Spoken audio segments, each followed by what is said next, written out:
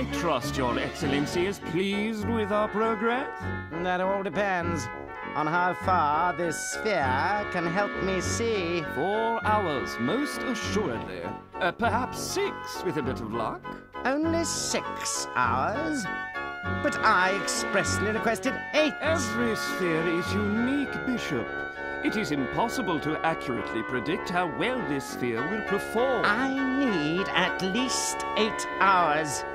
Eight hours, Master Crucible. See to it.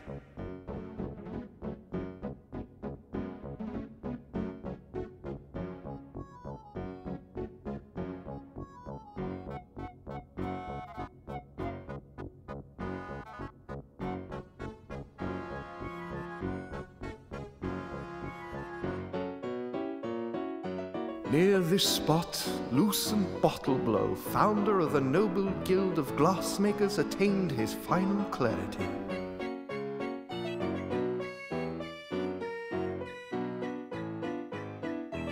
Welcome to Crystalgard, stranger. I'm Master Goodmold, 31st in the Noble Guild of Glassmakers. And who might you be? My name is Bobbin. Bobbin Threadbare of the, um, Noble Guild of Weavers. A weaver!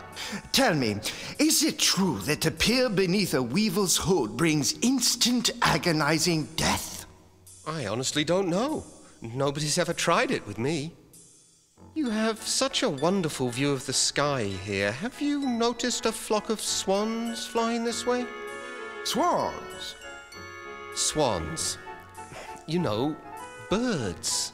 Yes, yes, swans! no, I haven't heard of any swan sightings. Uh, look around to your heart's content, Weaver Threadbare. Hmm?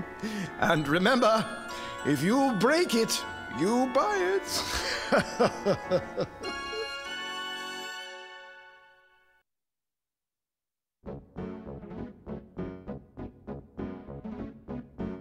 Softshod, wife of Lucent Bottleblow, here attained final clarity.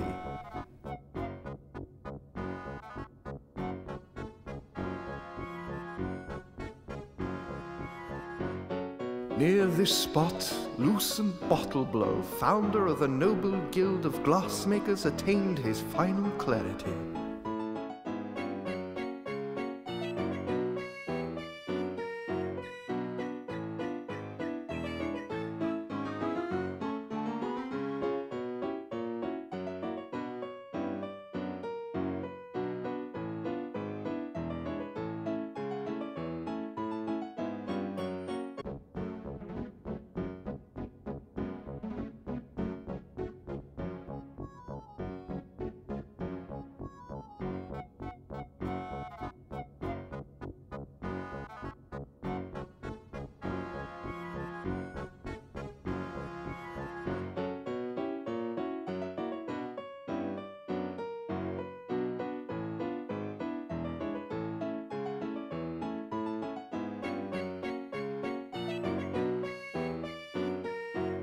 Going on up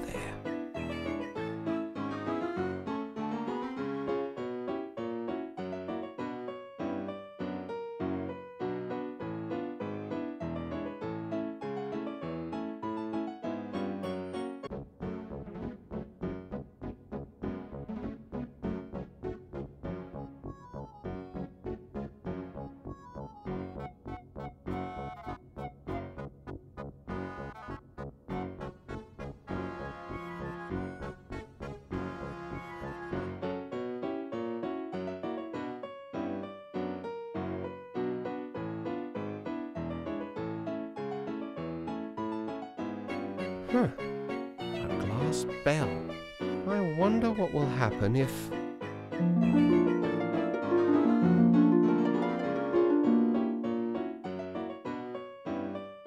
I'm dizzy.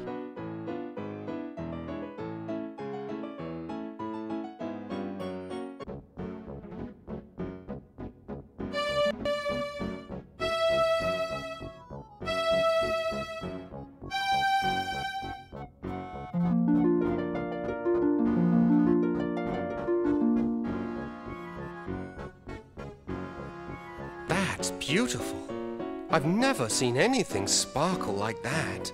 Not even the long tapestry. What kind of glass is it?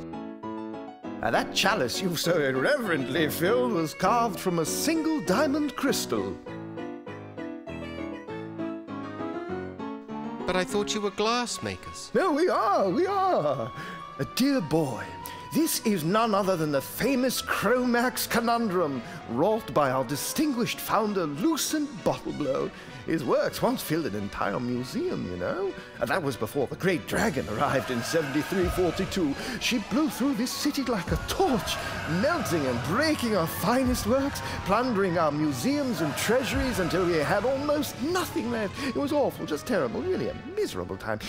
Even Bottleblow's greatest masterpiece, the first scrying sphere, was lost forever. But you still have the conundrum. And a lucky thing, too. It was on loan to the Guild of Vintners at the time. It is the sole remaining example of our founder's transcendent genius. But I'm still curious. Why is it diamond instead of glass? We've no idea, no idea at all. That's the conundrum, you see.